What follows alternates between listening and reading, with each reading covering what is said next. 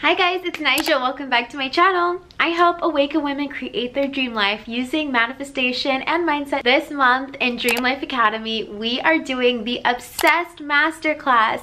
This is all about how to cultivate a deep, delicious sense of self-love within yourself so that you can be charged up to create your dream life.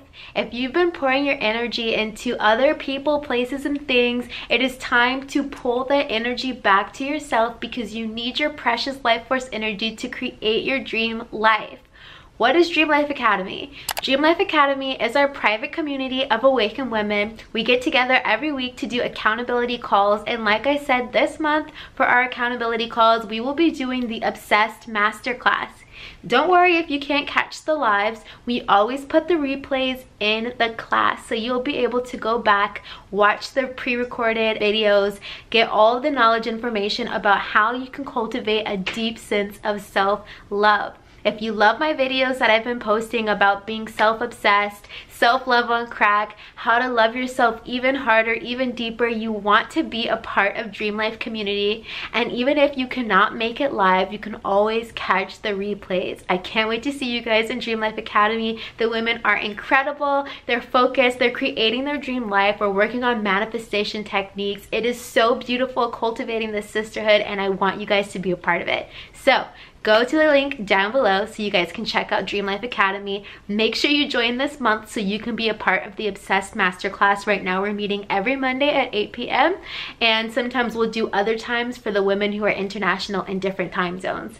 Be a part of it. Links below. I'll see you guys there. Join Dream Life Academy. Bye! So when it comes to deadlines, I would say ask your dream self, but also don't allow your ego or your fear to get in the way, right? So like if I say, dream self, what is the next product do I need that I need to create? And they tell me the product. Sometimes we can get overwhelmed, right? And be like, oh my God, you really want me to do that? Oh my God, you really want me to make that video? Oh my God, you really want me to X, Y, and Z, right? So we have to be willing to, you know, ask, okay, well, when do you want this done? Because the, the significance of it is the divine timing, right? If we sit on things for too long, they might not have the same effect as if we were given the download to do it and they tell you when to do it. And for whatever reason, things just line up exactly how they're supposed to, and they just have the best result, right? I'll give you an example. Um, that video I made, Become Deeply Obsessed with Yourself, my guides had told me to make this video. They told me what to title the video. They told me when I need to drop it. If I had said, okay, I'm going to make this video, but um, I don't really feel like doing it today, so I'm just going to wait. All of the shifts that have been happening for me and my business and all of these things would have been delayed. So that's the significance of, you know, checking with the divine timing. Okay, what do you want me to do? Okay, when do you want me to do it? Because for whatever reason, you know, things line up the way they're supposed to when we are obedient to the information. So again, it's like intuitively, how do you feel about it? And then, you know, go from there if that makes sense. I will definitely sit with that for sure. Yeah. Thank you. Of course. Ina? So I based on what you guys were just talking about, I kind of have a question in the terms of like self forgiveness when it comes to procrastination procrastination because in a reading that I got, an oracle reading that I got in June, the oracle reading told me that within, you know, within these like last three months, if I don't procrastinate right on certain things, I will get rewards for it for not procrastinating. But I have been procrastinating, and I guess it's in that, like, you know, just from that fear based, limited mindset kind of, and just I just always have so many ideas of like, okay, well, well I'm going to do this or I want to do that. Kind of just what you guys were just talking about and waiting too long for certain things. So I guess I'm just curious, like, if we don't act on those things is our higher self mad at us? Are they disappointed in us? Or I hope that makes sense what I'm asking, but So I definitely wouldn't say that there's like anger or frustration. Like, again, we're God having our experience, right? So we have free will. Whatever we want to do, the universe is like, I'm cool with it. If you want to, you know, take yourself seriously and do X, Y, and Z, I'm cool with it. If you want to relax and, you know, like cruise and whatever, I'm cool with it. So there's no sense of, you know, punishment, if you will, right?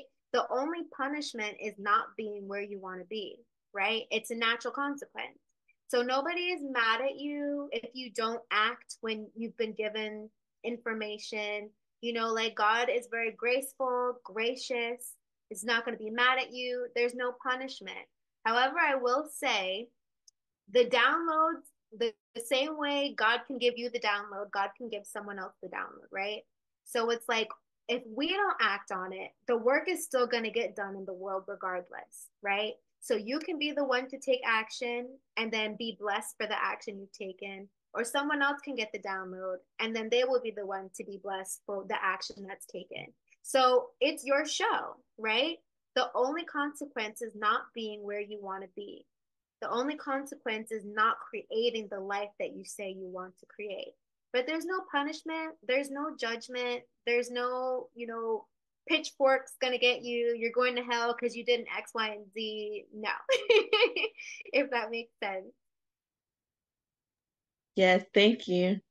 I really I, I, I really like that. Like the only co consequence is not being where you want to be. Like I don't know, that just really resonated with my spirit. So thank you. Yeah.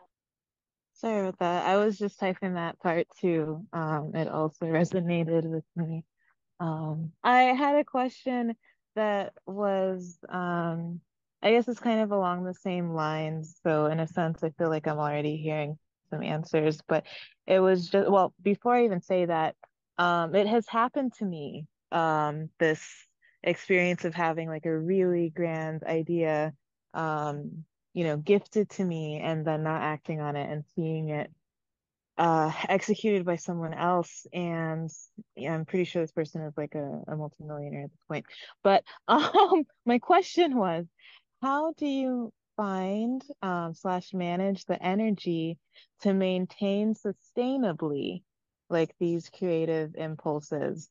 And yeah, initially I was thinking like honing in on the difference between the dream ideal and the right now, like in like as far as like what is the next step kind of compared to what is a step, right, that I aspire to and I see down the line. But I think what has been coming up as I'm hearing everyone is one, that whole divine timing that you're saying, Nija, um, you know, remembering that like the universe is acting in consort to support this idea birthing through me. And um yeah and that there are like collaborators that we will encounter. So maybe I've I I don't know. But I I do find myself coming back to the question especially about like managing the energy sustainably because I think one of my biggest fears is kind of um doing putting something out there and not being able to mother it basically and like I don't know leaving it to die. Like I just I, I, there's a way that it feels irresponsible to me and um yeah just like with these creative ideas so sorry if that was a bit long-winded and um let me know if to clarify but that's the question I have okay so wait let me just regurgitate to see if I understand the question so okay. you're receiving a lot of like divine downloads or creation ideas, um, but you're not sure if when you start working on it that you'll be able to sustain it. Is that what you're saying? Yes, yes. And so partly because of that, I'm like, oh, is that something that I need to do now? Or is that something I need to kind of put the reps in in order to be able to like i don't know lift right? Like eventually. Um yeah. Okay. I understand. Okay. So yeah i mean that is a fear that i had with like starting a community or like receiving coaching clients or like all of that like am i going to have the energy to keep this up? Like if i start this if i push the ball am i going to be able to keep the ball rolling? But it's exactly what you just said. With showing up with having the reps it becomes easier and easier right? Um, the fear is that you're doing something that you've never done before but in the creation of it, you become someone you've never been before. So, whereas when you first start pushing the ball, you're like, Am I doing it? Is it moving? Are we like you put the creation out there? Oh my God, am I going to have the energy to keep showing up for this? Yeah, you do, because as you show up for it, as you nurture your creations, you are becoming a different person. You are changing, you are evolving, you're putting in the reps, you're gaining the muscle to be able to sustain your creation. Um, I know, like, another example, like a big fear of content creators is Am I going to be able to keep producing content? What if I run out of ideas? What if I stop showing up? The truth is, once the ball is rolling, it's going to keep rolling. This is the power of momentum. The hardest thing is getting the ball to start moving initially. But once the ball is moving, it's easy to keep the ball moving. And again, you become a different person through, you know, growing with your creations. It's like, yes, my business is growing, but also so am I growing on a personal or fundamental level. Um, yes, I started this new project, but you know, I get good at it. It's not so hard. It's easy for me to show up now. I'm being energized by the thing that I'm pouring my energy into. So I hope that makes sense. It makes so much sense. And thank you. Uh, truly, like hearing your, just hearing how you put that, um, especially the, the getting energy from what I'm putting energy in and the nurturing part. I think I just had like a whole ass healing of my like mother relationship right there and just like being reminded that um the child strengthens us too. And anyways thank you. I'm a i'm a i'm a take this and and soak it in.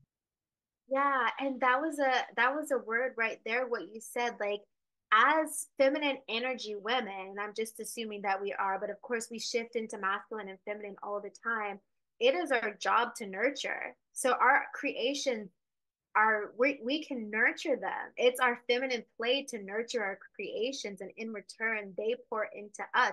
They feed us. You grow the business and then the business feeds into you by sending you money or sending you clients sending you enjoyment fulfillment trips that you get to go on so it's like as you pour your energy into your creations, your creations get to pour energy back into you.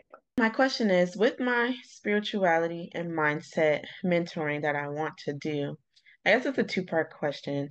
One is because I'm back working at my job and I start at eight o'clock in the morning and I'm off at three. I don't really know how to go about taking the calls like the one on one coaching, like, uh, like making that schedule make sense. So I want to know your perspective on that. And then also, I was watching one of your videos yesterday, like it was an older video, and you had mentioned kind of what I'm feeling. It was like, well, who would want to book this kind of coach if, you know, they don't have their stuff together, right? So if I'm someone, you know, I, I feel these negative mindsets, I feel like, well, how can I really be a mindset mentor, if that makes sense? I hope what I'm saying makes sense. Yeah, it definitely does. Okay, so I'll answer your second question first. So the reason why we go through shit is so that when our clients come to us with their shit, we're like, I understand. I've been there. I felt that. This is how I got through it. So don't condemn yourself for going through hardship. You know, like I, I was asking myself, well, who's going to want to coach with me when I just had X, Y, and Z happen? But the truth is, it makes me more relatable, right? People can mm-hmm. trust me with their baggage because I've been there. You know, I've been the person who didn't have money in her bank account. I've been the person who had my car repossessed. I've been the person who's gotten evicted from my house. I've been there. And so that makes me even more creditable to people who are going through it, right? You have an understanding that people who have never gone through that type of thing, they can't speak to that. They don't know what that feels like, right? And so you are still worthy and able to speak to these things. And a beautiful thing about being a coach is we go through things so that we can teach other people how to get out of it. So if you're currently dealing with having negative mindset or whatever you're working with, whatever heavy emotions or baggage that you're dealing with, you are learning to transmute it so that you can be a leader or a guide for somebody else. So it's okay if you're dealing with, you know, battling your negative mindset, whatever you're dealing with. The answer is how do I overcome it? And what are the lessons that I'm going to teach my potential clients from this? Right? So that's right. first thing. You're going through things because you're a teacher. You're going through hardship because you are a transmuter. You're going through things because one day you're going to be able to gain the knowledge, the wisdom, the insight, the medicine from it, and administer that medicine to other people. So that's the significance of why we go through hardships, even as a coach, right? But of course, you want to master it before you start, you know, acting like you know how to talk about it. So again, if you were wanting to help people with their mindset, it makes sense that God is shoving mindset stuff in your face to teach you how to deal with it so you can even speak to somebody about it. So that's why that stuff gets shoved in our face. Um, to your first question, when can you make time to work on your business? I would say for so not for the Zoom sessions, but something that we really have to do and i hate this so much because like when i was like juggling two things i was like i'm not gonna have time to do anything. Um mm. but getting up earlier putting energy to your business before you give energy to your day job. And i know you already have to be up at eight o'clock. You're like what the hell? I'm tired. But give your best energy to the thing that matters most to you first and foremost.